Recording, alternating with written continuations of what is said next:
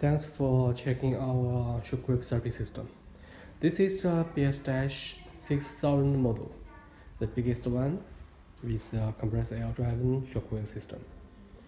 And here is the handpiece, here is the touch screen, and uh, on the back end, here is a handpiece socket, uh, double fuse, and a power switch.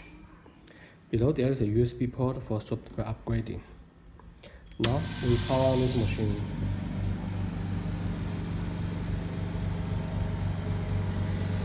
It will show the model number here.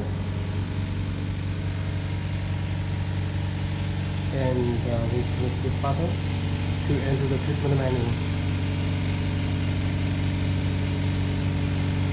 And uh, here's the following this uh, treatment area. For example, elbow, knee, shoulder, hip, and etc. We choose each item and then it gives a treatment proposal.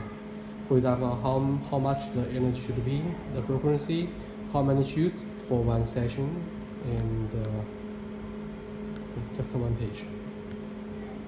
Then we click OK to enter the treatment menu.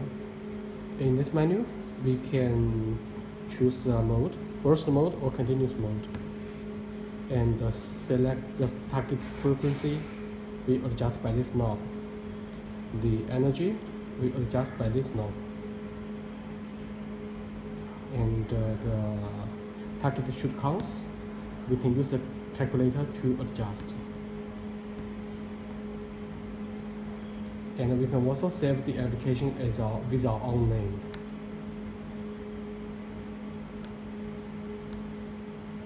and in setting menu we can set the parameter of the work of the machine.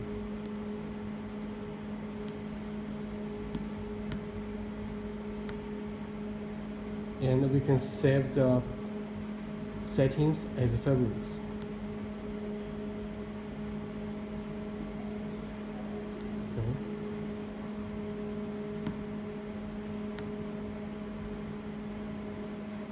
Click this button and you can input your own settings.